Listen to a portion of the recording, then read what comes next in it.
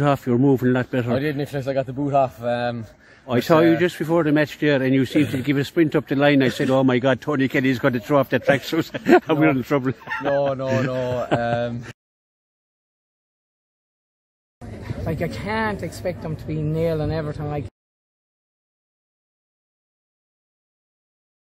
Uh, they had a purple patch. They're going to have it. They're they're perennial winners, like you know. So they had it in the third quarter. But you know, to be fair, we got the last three scores of the game.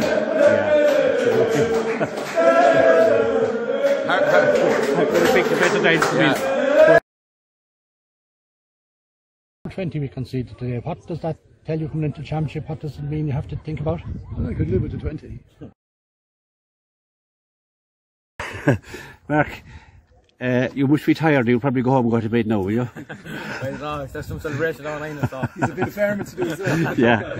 And and will you keep an eye on this man there? He's a sore knee as well. We'll have to- we'll have to- They're great lads. They're they're savage. You know they It's the lateral freeze, as you said.